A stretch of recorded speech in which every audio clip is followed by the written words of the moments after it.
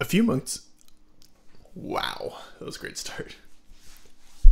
A few months ago, I created something called Unity MCP. And it was really like when this MCP craze was happening and everyone was super, super into how can AI clients like Claude Desktop or Cursor or any of the numerous ones that are out there now, how can they actually talk to applications or different software? And there was a really, really popular one that I saw that was Blender MCP. And that inspired me to make one for Unity because I just saw someone type in build XYZ and it like built out this whole thing in Blender. It was super, super cool. And so I built one for Unity. And so really the, the idea here is it's kind of like an API, I guess, where you can hook up your Claude Desktop or Cursor and it will talk directly to the Unity application that you have up and running on your computer. And this is all open source, totally for free too. Uh, well, you have to pay for like the Claude you know license or the cursor uh, subscription. But uh, we don't charge for this one. Um, and the idea here is you can type in build me a mario game or build me a tic-tac-toe game or it, like simple stuff like hey can you add extra gravity? Or just like you know little stuff like that that you may or may not know how to do off the top of your head or it'll help you prototype it a lot better. And so i went through and i built something uh, to help do that. And it's kind of been refined over the last uh, several months. Um, we've got over 17, or we have exactly 17 contributors, uh, and uh, it's honestly super easy to get set up now. And so I'm just going to walk through how it works and kind of give you a little demo and uh, hopefully inspire you to give it a shot. Use it in your next game jam uh, and see if it's helpful. so the idea here is there's a Python server that's just kind of running and listening in the background, and it will talk between Unity and your client of choice. And so you need to have Python downloaded on your computer, which is really easy. You just click this link and um, you know click on the download link, and it'll install it. Um, you need to have Unity, obviously. Uh, and then you also need something called UV, um, which is just a, a, package manager for Python. And so you just um, drop this script in if you're using Mac or Linux, and then drop this script in uh, to your terminal and hit enter if you're using um, Windows on PowerShell. And then all you have to do is copy this link right here, and then we go to Unity. And this is a brand new Unity 3D URP project that I just started. I still got the README assets in here that I can remove. So we're going to go to the package manager, hit the plus icon and add in install package from git URL, paste in the, uh, the URL that I just copied.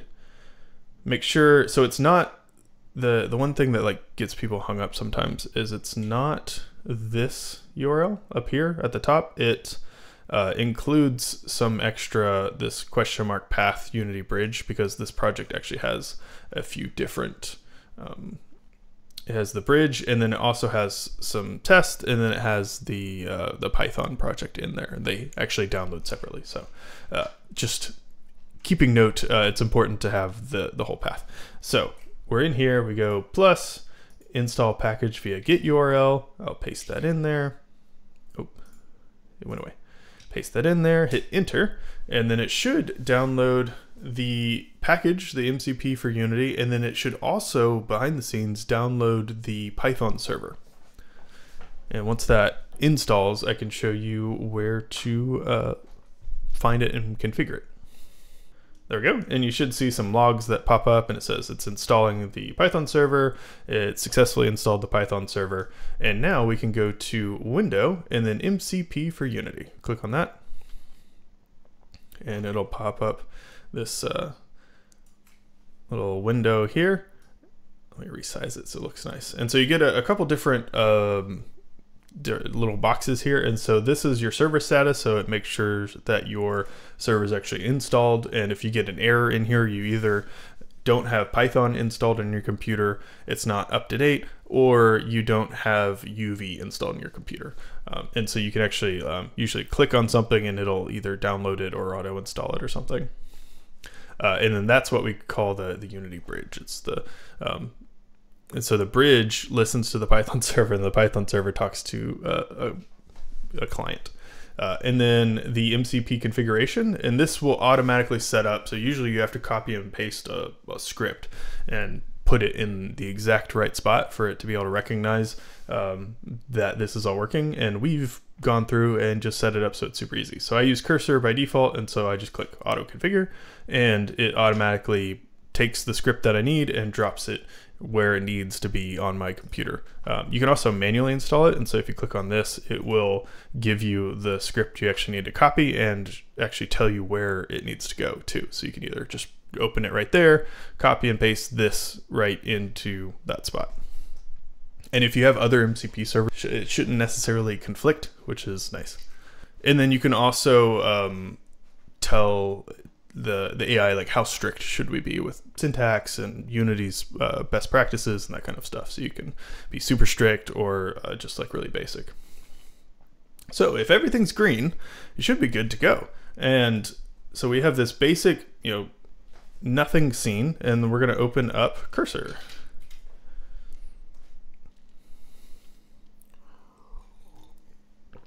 And then I'm going to open up cursor in a brand new in my in my project. So I'm opening up cursor in my Unity project.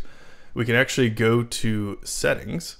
We'll go to MCP and you should see Unity MCP already connected and the tools that you have available to you.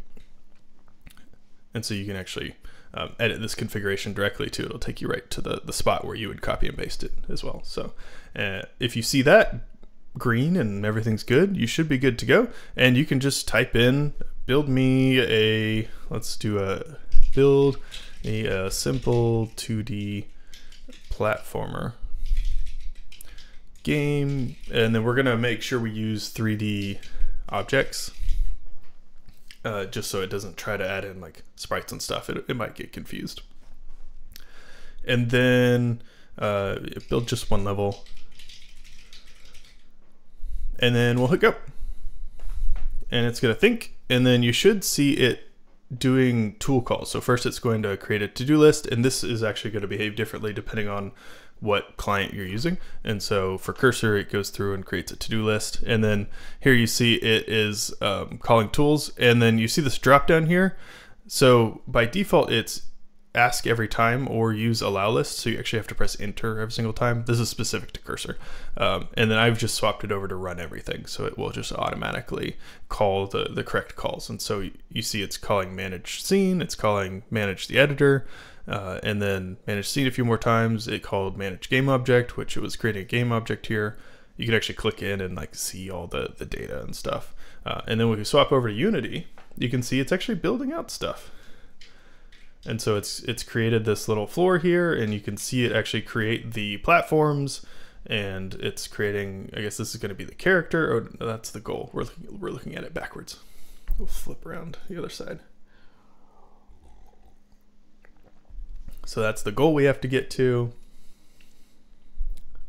And then it should, after it sets the scene up, it should automatically create some scripts and um, set all that up. So yeah, th this will pop up. Um, just say, yes, you can update all the scripts that you find and everything like that. And so it's creating a script. It'll reload the domain a bunch of times because it's Unity. and then we just kind of let it run. Go back and check on it still going. It is good to have the unlimited plans or at least the more higher end plans. So if you try to run this on like the free plan of Cursor or the free plan of Claude Desktop, eh, you're going to run into the limits pretty quickly because you can see how how many tools it's called, how much context it's using. Each tool uses up like all of this amount of data, and so you're you're probably going to run into your context limits there pretty quickly. And then there we go. It says it is done and it's created a little platform. It gave us a little blurb about how to play. It says here's the scripts that it created. And so we can go over to Unity and let's just double check its work. Oh, it even created a material. So there's a new material for the goal. And then it's got platform material, player material. There is, it said it created some scripts, but I don't see any scripts. Oh, it, so it created an extra assets folder, and then there's scripts inside the assets folder. So sometimes it gets a little weird. Uh, I've I've honestly filmed this a couple times, and we're just gonna go with whatever this uh, shows up because it's a little finicky. I will say that it's not gonna. You're not gonna be able to give it one prompt and have it build out something really amazing. It's really good for prototyping. So like this is really quick. It set up really quick platformer. Uh, one thing I will note is that it doesn't do very well at like actually placing scripts. This one actually did good. So it actually placed the script onto the object, but you like kind of references, so like the ground check here is um, sometimes it doesn't actually specify that. Um, see the main camera does have it. And then, so yeah, see the, the target hasn't been set. And so we're not actually following anything. So if we want to actually follow our player, we need to uh, drag and drop our player over there. And then, and then let's look at the goal, make sure the goal has a script. Cool. And let's hit play and see what happens. Um, okay, here's an error that is also very common. It is the input system, and so the way AI is trained, it's it's, it's usually out of date, and so usually what you'll get is the input system is going to be configured to be the old input system instead of the new input system that Unity's trying to like kind of force. And so we're going to go to project settings here, expand that out, go to player, other settings, and then scroll down until we get to this active input handling underneath configuration. And we're going to swap that to both. Uh, so Unity their in their new like 6.0 and stuff, uh, it's they're trying to push their new input system, and we don't want to use that. We want to use the the old one for now because it's just honestly a lot simpler. If you're building out a production game with all the production stuff, I would use the the new input system because it's more configurable. You can uh, do keybinds and that kind of stuff, but uh, for just demos and prototypes, use the old input system. It's so much easier. So we'll let Unity come back up and restart, and uh, we'll try it again. And while Unity's restarting, I just want to encourage you to contribute if you want. Uh, oh, here's Unity. Let me put it back on the right screen there. If you want to contribute to the project. Um, there's another uh, branch that I've been working on lately. Uh, if you want to contribute, we've got over 3,000 people who have started this project, a bunch of forks, and there's a bunch of people using this every day. We've got some optional anonymous telemetry attached to this uh, that you can opt out of with just one um, one little environment variable. Let me find it. There is. Where is it? I can't find it off the top of my head, but if you want to opt out of telemetry, you just literally go to the environment variable, swap it to false. Um, and but it's anonymous, and it lets us see how many daily users are there are, how many uh, actual commands or tools are being used, where the errors are, that kind of stuff. And um, it's being this whole project's being managed by CoPlay as well. Um, I should also say that they uh, it, I ended up transferring the project over to them to manage. Um, they uh, they purchased it from me. Um, uh, full disclosure, and I helped them out and um, work for them a little bit on the on a contract basis to actually improve Unity MCP and make these videos and stuff. So um, that's a little disclaimer I'll throw in here too. But I I'm the one who built this, and I enjoy using it, and I, I still think it's uh, a great tool. So back to Unity. So let's try this again. Now that Unity's restarted, we swap the input mode over. So if I do left and right, there we go. And then spacebar, we got a little jump there. So now we are, it works. So let's see what happens when we get to the goal. Level complete. Nice. There we go. So we didn't add, we don't we didn't write any scripts. We did one little config where we on the main camera we drag and dropped the actually we didn't um, because I forgot to save. So this is automatic. In the script here, it automatically finds the player. So nice. Um, I thought that was going to be the one thing we had to do, but we didn't have to do anything. Uh, it even went through and made some materials for us. Uh, and so there's a few like little weird things, like it created the assets folder instead of a scripts folder, so you could rename this. But as far as like prototyping goes, like that took us three minutes, and it created three scripts for us, and we have a whole working platformer level. And now you can go in here and move stuff around and create more levels. Um, so I highly encourage you to play around with this, do other stuff, see see what it can do, uh, find the limitations because there definitely are limitations, but uh, play around with it. It's a really fun tool and it's really easy to configure and it's all set up for a bunch of different clients. So if you don't use Cursor, you can use one of the many other. We've got Claude Code, Windsurf, Claude Desktop, uh, VS Code, uh, the GitHub Copilot, and then also Kiro uh, are automatically set up for it, but it should work with any MCP client. So you can do the manual setup here and just copy this, and it will um, be set up for anything that you want to use. So enjoy uh, and let me know in the comments if you actually build something cool with it or if you have suggestions.